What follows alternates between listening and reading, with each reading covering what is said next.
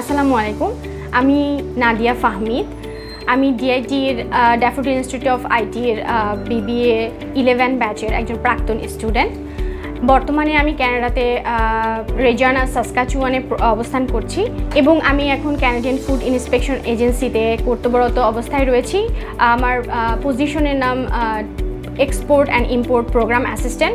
It's related all with uh, export and import of Canadian uh, food and uh, with different countries. আমি specially আমার সকল শিক্ষক এবং specially আমার principal স্যারকে ধন্যবাদ জানাতে চাই কারণ তারা আমাকে গাইডলাইনের মাধ্যমে আমাকে নতুন একটা স্টেপে যাওয়ার জন্য উৎসাহিত করেছেন অবশ্যই এবং with their all guidelines and uh, with their all suggestions make my path so easy and um, now here I am.